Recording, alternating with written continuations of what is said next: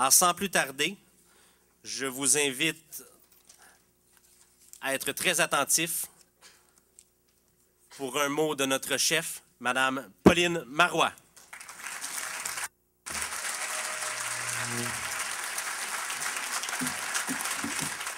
Merci de votre accueil.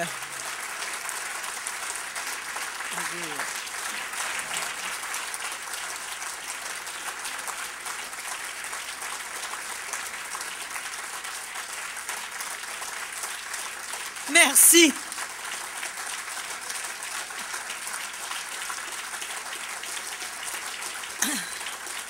Vous êtes engagé dans un travail de réflexion, euh, de discussion, et ce travail se fait, comme je le mentionnais tout à l'heure, dans toutes les régions du Québec. On peut se, se dire ensemble comment cet exercice est nécessaire, souhaitable, et surtout, je vous dirais comment on peut être fier du fait que c'est au Parti québécois que ça se passe, où on est capable de défendre des idées, des orientations, de prendre position. C'est un parti qui est un grand parti, qui a vécu des moments difficiles, vous y étiez, j'y étais, et qui euh, a retrouvé la santé. La santé d'abord parce que nous formons actuellement la plus forte euh, opposition officielle à Québec avec 52 députés, un de plus avec Kamouraska Témiscouata. Hein? Ouais! 52 députés, c'est la plus forte opposition officielle depuis la Révolution tranquille. C'est près de 100 000 membres. Aucun parti politique ne peut en dire autant au Québec. Nous avons réalisé la meilleure campagne de financement depuis longtemps, une campagne de financement, vous le savez, populaire. Et on peut en être très fier. Ça nous a permis une chose. Ça nous a permis d'éliminer notre dette, notre déficit au parti, même de commencer à ramasser, à cumuler un fonds pour la suite des choses, la suite des choses étant la préparation de la prochaine élection. Je veux vous féliciter d'ailleurs à Montérégie. Je sais que vous travaillez toujours très fort et que la très grande majorité des comtés a non seulement atteint son objectif, l'a dépassé et que la région a atteint ses objectifs. Bravo et merci.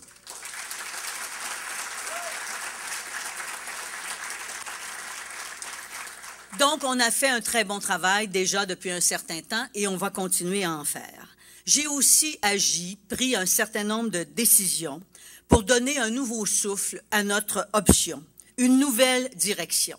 Et si j'ai pu le faire, je suis très consciente que c'est grâce à votre appui solide. Sinon, jamais je n'aurais pu proposer un certain nombre d'orientations qui ont été retenues soit dans des conseils nationaux, soit dans des conférences des présidents et des présidentes, et euh, débats qui se continueront au moment du congrès. Je vous remercie de m'avoir accordé votre confiance jusqu'à maintenant est-ce que je peux vous dire que je vais en avoir encore besoin pour la suite des choses?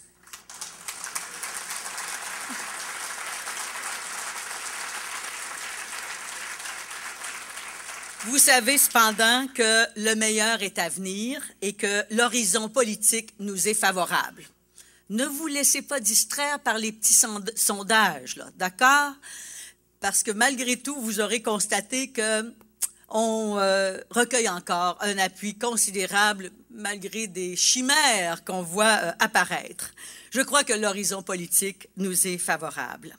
Ça ne nous enlèvera pas cependant l'obligation de travailler avec rigueur et avec détermination, celle que l'on nous connaît, pour atteindre la victoire. Et à ce moment-là, vous le savez, tout devient possible. Le premier geste qui va nous rapprocher de la souveraineté, c'est d'abord l'élection d'un gouvernement souverainiste du Parti québécois. Et notre élection, elle est importante. Elle est d'autant plus importante avec le traitement que Jean Charest a réservé à notre langue, à nos ressources naturelles, aux finances publiques, à la démocratie, à nos institutions. Je suis persuadée, vous le constatez vous aussi quand vous rencontrez vos concitoyens, ils comptent sur nous. Il compte sur nous pour que nous changions les choses, que nous transformions les façons de faire politiques, que nous revenions à l'intégrité, au respect des institutions. Vous avez vu que Jean Charest croit comme d'habitude, qu'il suffit d'apporter quelques changements cosmétiques à son équipe pour berner les Québécois. Nous, on ne va pas tromper les Québécois. D'ailleurs, nous avons une marque de commerce. Elle nous caractérise. Nous, nous les respectons, nos promesses et nos engagements, parce que nous sommes le Parti québécois. Ce que nous préparons, c'est l'avenir du Québec. Nos choix pourront faire la différence et feront la différence dans la vie de milliers de Québécoises et de Québécois. Pensez à ce que nous avons fait à l'égard de la famille, de la petite enfance, les congés parentaux, les centres de la petite enfance. Pensez à ce que notre gouvernement a fait, et ça concerne particulièrement la Montérégie, la loi sur la protection du territoire agricole, la loi sur le financement des partis politiques, les lois linguistiques. Donc, nos décisions, nos choix, ils peuvent être et ils seront déterminants pour le destin du peuple québécois. Ce que je veux voir dans notre programme, c'est quoi? Ce que je veux voir dans notre programme, c'est ce que nous voulons pour le pays du Québec. Nous voulons quoi? Nous voulons un gouvernement qui va être au service des Québécois. Parce que prendre soin de notre monde, c'est à mon point de vue le meilleur moyen pour nous assurer que chacun puisse contribuer à bâtir notre nation. Nous croyons à l'avènement d'un Québec vert et bleu, parce que notre territoire, ça aussi, ça fait partie de ce que nous sommes, ça fait partie de notre identité. Nous voulons créer plus de richesses. N'ayons pas peur des mots. Pourquoi? Parce qu'on veut avoir les moyens de nos ambitions, parce qu'on veut avoir les moyens de décider pour nous-mêmes, par nous-mêmes. Nous voulons créer de la richesse pour pouvoir mieux la partager, pour ne jamais laisser personne sur le côté de la route, pour atteindre plus d'équité, plus de justice sociale, pour lutter contre la pauvreté. Nous voulons affirmer ce que nous sommes. Nous voulons pouvoir le dire en français au monde entier. Pour y arriver, pour y arriver, vous le savez très bien, la seule, le seul vrai moyen, c'est de nous donner un pays. Mais cependant, il y a une question dont nous devons nous saisir si nous voulons pouvoir obtenir l'appui de la majorité des Québécois. Et c'est une nécessité qui est impérative, qui est urgente, parce qu'actuellement, nos institutions ont été mises à mal par le gouvernement Charret et par M. Charret lui-même. Nous devons rétablir l'intégrité et la confiance envers nos institutions, envers l'État. Les Québécois sont en colère, vous l'avez constaté, vous le sentez tous les jours. Et ça ne se, ça ne se tarit pas actuellement, ce point de vue qu'on a sur euh, la nécessité de retrouver l'intégrité. On a le sentiment, et nos concitoyens ont le sentiment, que les institutions publiques, les services sociaux, les impôts qu'ils payent ont été détournés, qu'on les a mis au service des amis du Parti libéral, au service des intérêts partisans de M. Charret et de son gouvernement.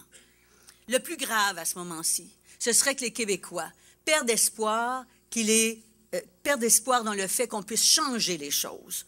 Or, moi, je leur dis, nous sommes le Parti québécois, nous ne sommes pas les libéraux, on n'est pas achetable, je ne suis pas achetable et je vous le garantis, sous ma direction, le ménage va se faire.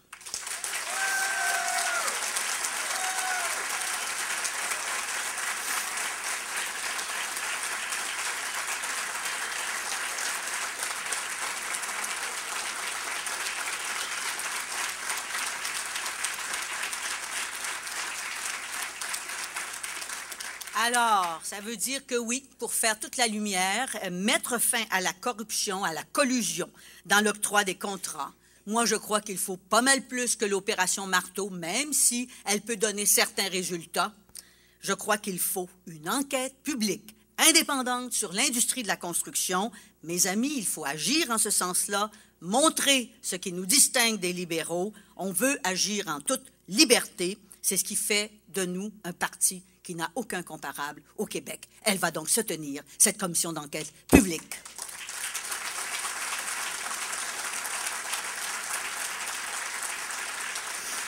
Mais il y a une, une, autre chose, et elle est encore plus fondamentale, qui nous distingue de, tous les autres, de toutes les autres formations au Québec. Nous mettons au cœur de notre projet, de nos débats, de nos rêves, de nos espoirs, nous mettons au cœur de nos débats, de nos échanges, le projet de pays auquel nous rêvons. C'est ce qui nous différencie de tous les autres partis du Québec. Nous voulons faire du Québec un pays. Nous en avons la capacité, nous en avons le talent et surtout, je suis persuadée que nous en avons la volonté. C'est pour cette raison, entre autres, que le Parti québécois, sous ma direction, a rompu avec l'attentisme et nous avons déjà adopté, et vous en débattrez encore et vous aurez l'occasion de vous reprononcer sur ces orientations au moment du Congrès, nous avons adopté un plan pour un Québec souverain. Qu'est-ce que nous voulons? Nous voulons replacer la question nationale au centre du débat public. Et vous le savez, on revient de loin. Jean Charest a tellement rien fait en matière constitutionnelle, ne s'est tellement pas défendu que même Harper dit que c'est réglé la question constitutionnelle. J'ai des petites nouvelles pour M. Harper. Il va avoir un réveil un peu brutal lorsque les souverainistes reviendront au pouvoir. Non, ce n'est pas réglé. Les principes qui sous-tendent notre plan d'action pour la souveraineté, quels sont-ils? Je vous réfère à trois d'entre eux. D'abord, la souveraineté, ça se prépare.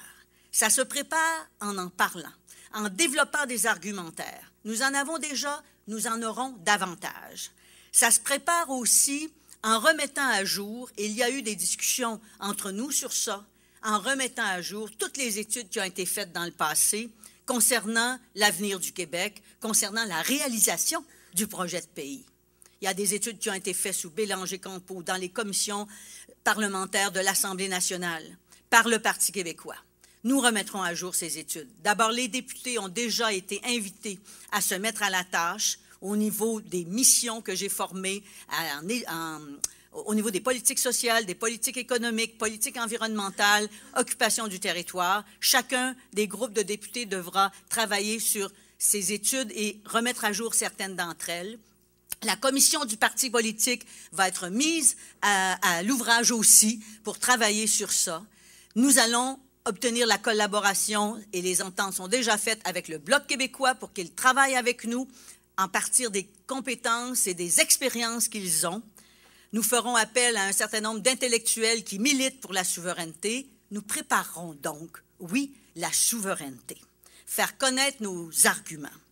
Préparer des conditions gagnantes et les construire, pas les attendre. Et c'est ça aussi, gouverner en souverainiste, c'est de recréer un rapport de force pour nous permettre de nous remettre en marche vers la souveraineté. Donc, premier principe, nous préparons la souveraineté. Deuxièmement,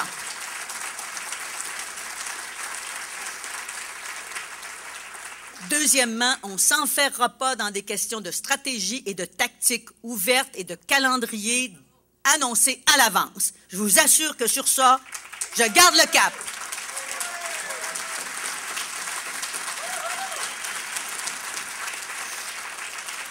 Oui, on va en tenir un référendum, on va travailler pour le préparer, on va le tenir quand on va être prêt, puis quand on va avoir décidé. Puis cette fois-là, est-ce que je peux vous dire qu'on va le gagner?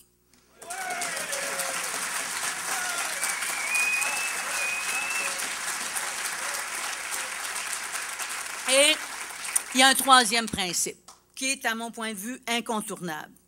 On ne peut dissocier le fait de gouverner le Québec et de préparer la souveraineté. On le voit d'ailleurs actuellement. Jean Charest a gouverné le Québec comme une province. Qu'est-ce que ça l'a amené à faire? Incapable de régler quelques dossiers que ce soit avec Ottawa. Old Harry, la Commission des valeurs mobilières, même l'harmonisation de la taxe de vente avec Ottawa. Aucun de ces dossiers ne sont réglés. Et puis ça, je vous parle de trois. Il y en a une liste de sept ou huit, longue comme ça, qu'il n'a pas réussi à régler parce qu'il n'a pas créé de rapport de force, parce qu'il a gouverné le Québec comme une province. Diriger le Québec comme une province, ça nous condamne à l'impuissance. Par, par contre, je vous dirais que gouverner le Québec et c'est-à-dire refuser de gouverner le Québec, ça, ça nous confine aussi à l'échec électoral. Donc, ce qui veut dire que la stratégie que nous retenons, l'orientation que nous choisissons, c'est de gouverner le Québec en souverainiste pour nous remettre en marche vers la souveraineté.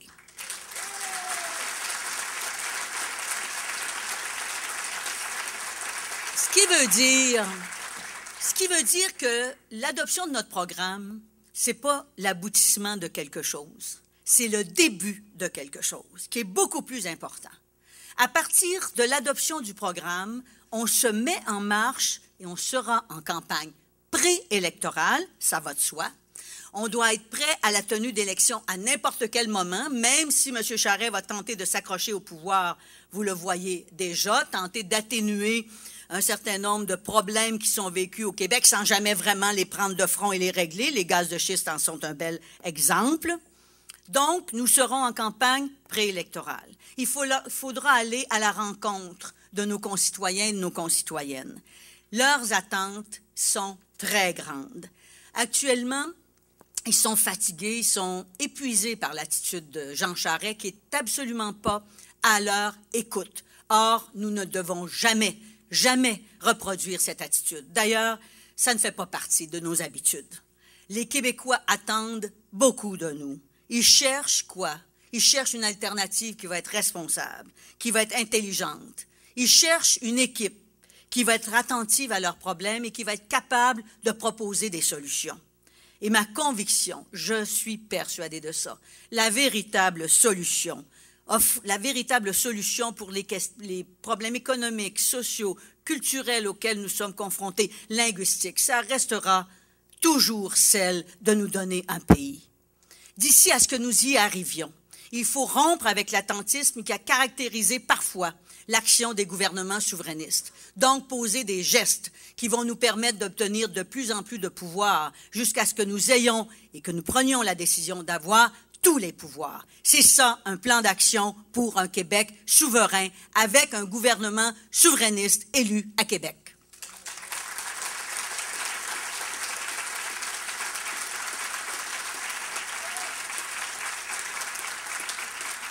Ce, qui veut dire que cette vision que nous avons de notre avenir, elle doit se retrouver dans chacun des gestes que posera le gouvernement, dans chacune des politiques que nous adopterons. Nous devrons évidemment rester solidaires. Nous devrons être audacieux. Et ça va impliquer, qu'on ne impliquer pour nous de ne reculer devant aucun combat. Parce que si nous sommes capables de cette solidarité, rien, j'en suis persuadée, rien ne pourra nous arrêter. Rien ne pourra nous arrêter vers la quête de notre pays. Pour y arriver, j'ai besoin de compter sur chacune et chacun de vous. Et je crois que pour y arriver aussi, la population québécoise a besoin de nous faire confiance, de se faire confiance à elle-même. Et nous sommes capables, comme formation politique, comme grande formation politique souverainiste, nous sommes capables de réaliser ce rêve qui est celui des René Lévesque, des Jacques Parizeau, qui est celui des Pierre Bourgault, des Bernard Landry. Nous sommes capables de réaliser notre grand projet de pays et nous sommes capables surtout de choisir notre liberté. C'est à ça que j'ai le goût de travailler avec vous. Merci.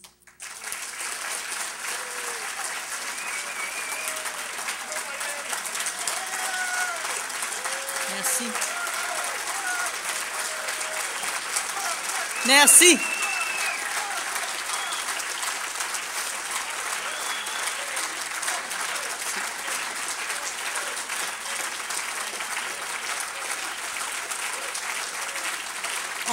Pays.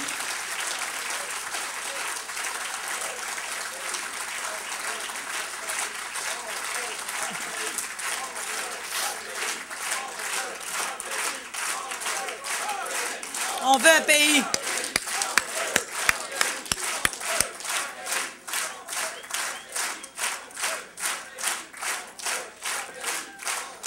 On veut un pays. On l'aura.